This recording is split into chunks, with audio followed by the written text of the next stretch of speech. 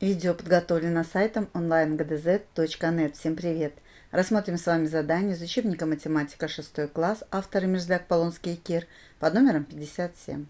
Нас спрашивают, четной или нечетной будет сумма семи натуральных слагаемых, если известно про четность и нечетность этих слагаемых. И для начала давайте мы с вами составим для себя формулы. Итак, если мы с вами складываем два четных числа – Четными называются числа, которые делятся на 2. То мы вспомним правило, что если каждое слагаемое делится на число, то и сумма делится на это же самое число. Поэтому сумма будет тоже четная. Если мы нечетное число складываем с нечетным числом, то в результате мы получаем с вами четное число.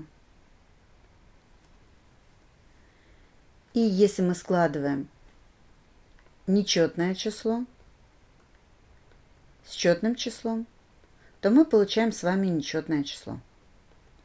Вот такие формулы про четные и нечетные числа мы с вами знаем. Поэтому по цифре 1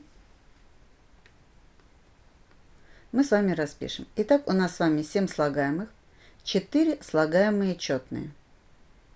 Четная плюс четная плюс четная, плюс четная. А остальные нечетные.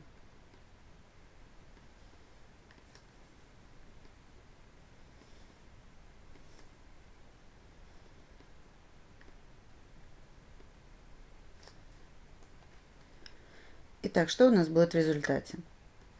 Итак, сумма четырех четных чисел – это будет число четное.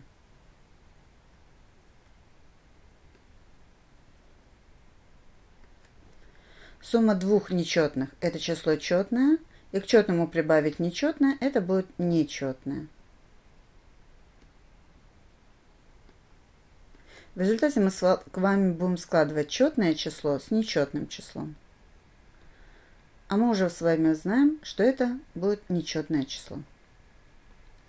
Итак, наш ответ будет по цифре 1. Сумма будет нечетной.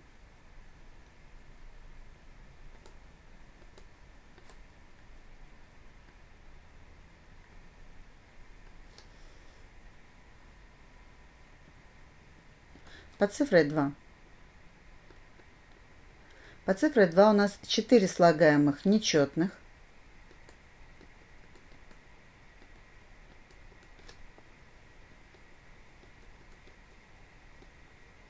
И 3 четных.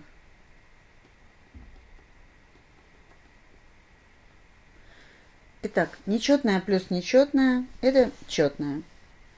Четная плюс Нечетное, нечетное. Нечетное плюс нечетное – это четное. Значит, сумма четырех нечетных слагаемых будет четной. Ну, понятно, что сумма трех четных слагаемых – это будет число четное. Каждое слагаемое делится на 2, значит и сумма делится на 2. В результате мы с вами имеем сумму двух четных чисел. Это означает, что и сумма будет четная. Итак, сумма четная.